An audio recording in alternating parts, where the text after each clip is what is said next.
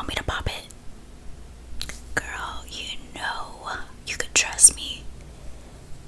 Okay, well, relax. So I'm not prepared, sorry.